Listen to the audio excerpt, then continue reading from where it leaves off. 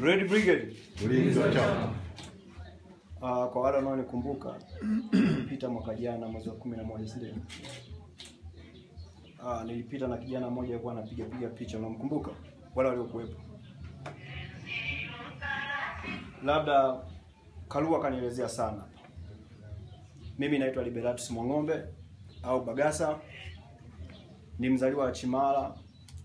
Babangu mzaliwa wa Mawindi, alisoma ujio wa mission hapo. Mimi nimesoma Montfort. Kwa hiyo mimi sio nimezaliwa Mbalali tu, Mbalali imezaliwa ndani yangu. Najua changamoto za Mbalali, najua changamoto ya TANAPA.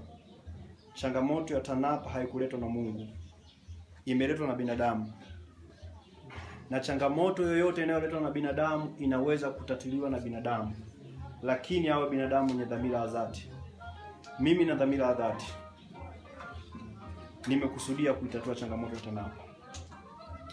Uh, sitaongea mengi.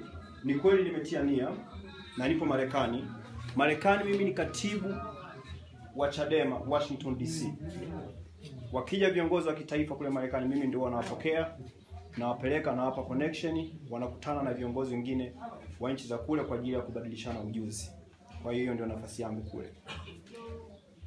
Sitaongelea sana kampeni kwa sababu kipaumbele changu cha kwanza sasa hivi ndani ya Chadema ni umoja, ushirikiano na upendo, na misingi ya umoja, ushirikiano na upendo ndio atakayotufanyisha tuchukue kata, jimbo na nchi.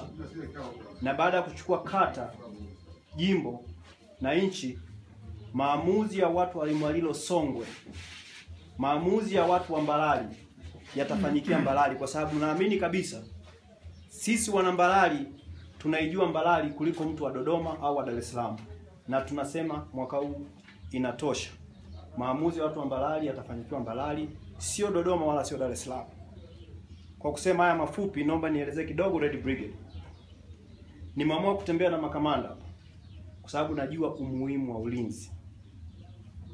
Makamanda mlioorodhesha majina yenu kwenye ile karatasi, lazima niwe mkweli kwenu. Mtakuwa sehemu ya ulinzi wa chama, na kwa kuwa sehemu ya ulinzi wa chama Sifa ya kwanza ya mwanajeshi au mlinzi ni kuwa mwaminifu na kuwa mtiifu.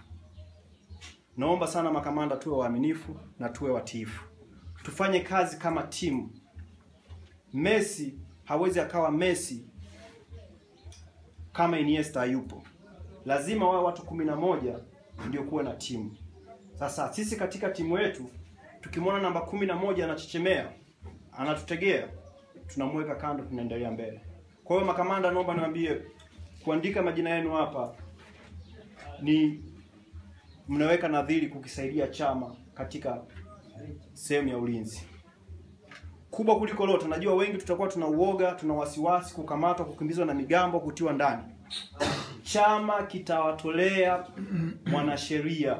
Ukitiwa ndani, chama kitawatolea mwanasheria. Jana tulikuwa mahakama ya wilaya kulikuwa kuna makamanda zaidi ya 40 au 50 kwa Chadema kwa ajili ya kesi za kisiasa za uchaguzi.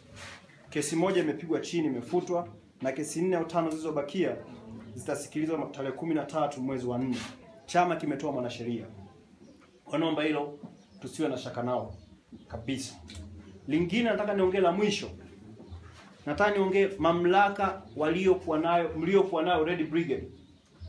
Ukishaingia ndani ya Red Brigade umeapishwa, hata aje Mboya au Dr. Sila, nyinyi ni watu wa ulinzi. Kama mnaona hali si shwari, intelijensia yenu inawaambia bwana, hapa mkutano usifanyike, mna mamlaka ya kumwambia Mbowe hufanye mkutano hapa leo. Mna mamlaka ya kumwambia katibu haufanyi mkutano hapa leo.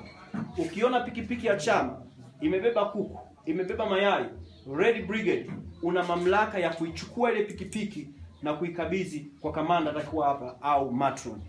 Kwa hiyo mamlaka ya Red Brigade ni makubwa kuliko tunavyofikiria. Kwa hiyo naomba mfahamu mamlaka yenu ni ya ulinzi, kulinda rasilimali za chama, rasilimali viongozi, rasilimali wajumbe na wanachama, kadi, bendera, chochote cha Chadema mna mamlaka ya kukilinda. Kwa hiyo makamanda, la mwisho naomba niwapongeze kwa ushindi wa mwaka jana. Mmefanya kazi nzuri sana makamanda. ndakuwa sina mengi ya kusema. Kama nilivyosema, mimi nimesoma Marekani na uwezo wa kupata kazi nzuri kule, lakini naamini kabisa katika kuwasaidia nyumbani, kwa sababu sisi tunasema hisani huanzia nyumbani. Asanteni.